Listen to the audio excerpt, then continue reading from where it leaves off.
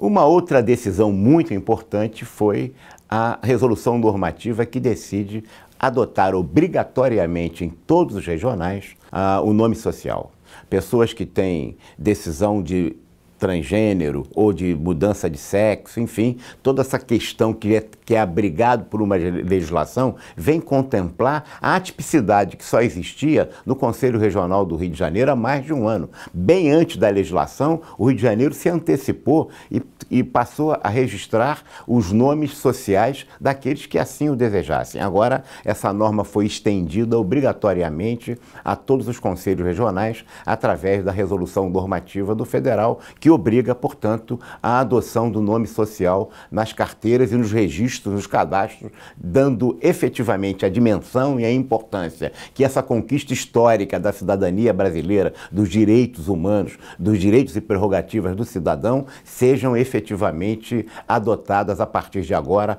nas carteiras, nos cadastros, no sistema, enfim, no sistema CFA-CRAs.